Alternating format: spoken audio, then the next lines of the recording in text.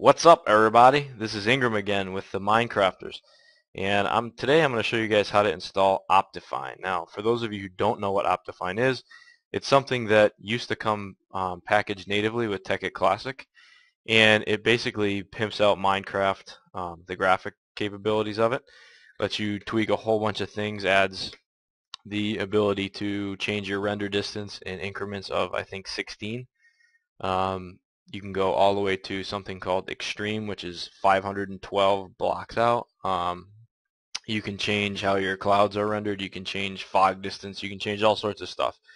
Um, and as the uh, mod author says doubling your uh, FPS is actually quite common.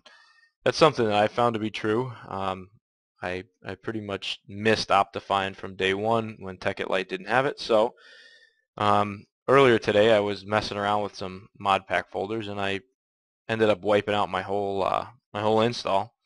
And since I figured I have to install Optifine again anyway I might as well teach you guys how to do the same thing. So let's get going. So to start out we're going to go to themindcrafters.com and there's a tutorial that will walk you through how to install Optifine for Tekkit Lite if I go too fast. But we're going to go ahead, we're going to use the Ultra D3 version. We're going to grab that download here um, from the main site. I didn't link directly to the file just because uh, sometimes these things change and I don't want to I don't want to lock anybody into an older version. So go to the website um, that's linked from our website, grab the zip file, download it, and then we'll go from there.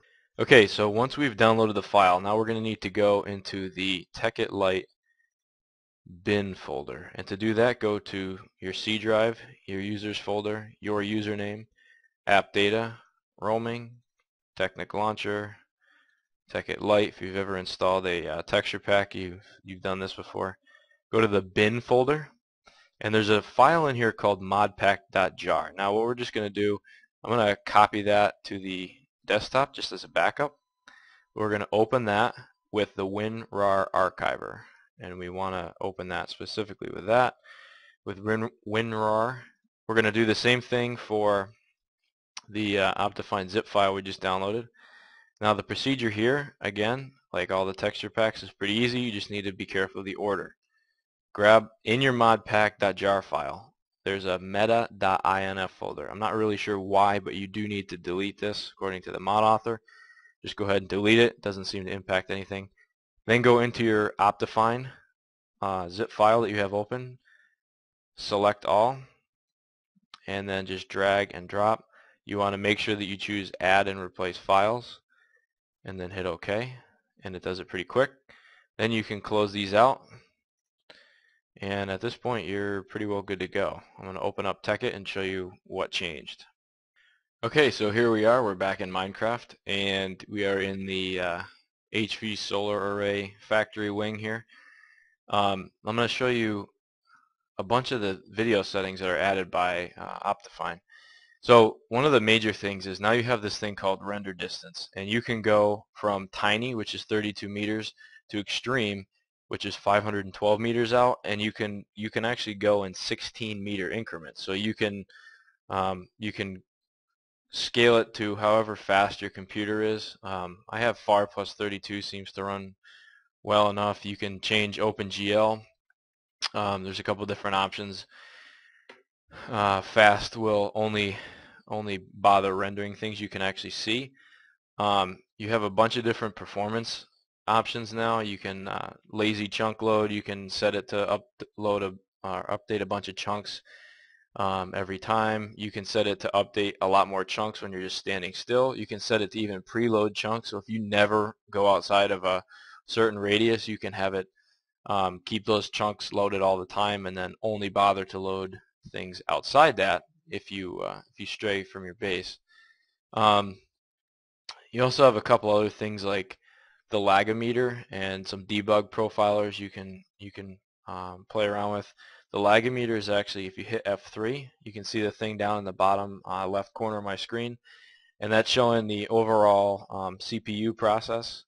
Um, I'm running a bunch of different things uh, behind the scenes here, so that's why it looks so horrible. And I'm having a problem with um, MC Edit replaced a bunch of ore in our world with turtles, so a lot of that is the computer trying to um, analyze and, and run a bunch of different turtles. But um, Optifine adds a ton of different things.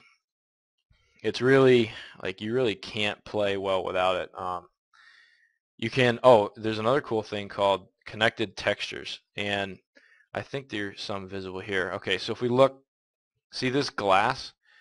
If you have connected textures on, it'll actually make it look all like one giant window pane. If we turn it off, you can see the difference.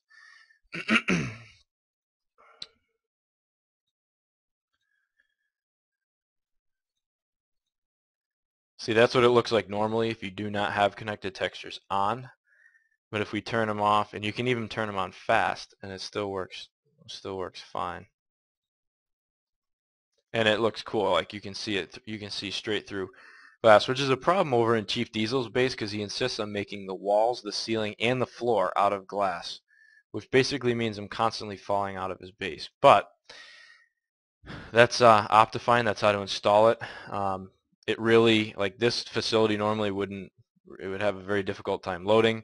So there you have it. That's how to install Optifine. Um, if you get stuck let us know in the comments or uh, in the uh, comment section on the video or the comment section on the website. Um, we'll respond to either place. Uh, make sure to check us out at themindcrafters.com and please like comment and subscribe. The step-by-step -step tutorial for this video is actually in the description below Make sure to check it out if I went too fast. Guys, as always, thanks for watching and stay poised.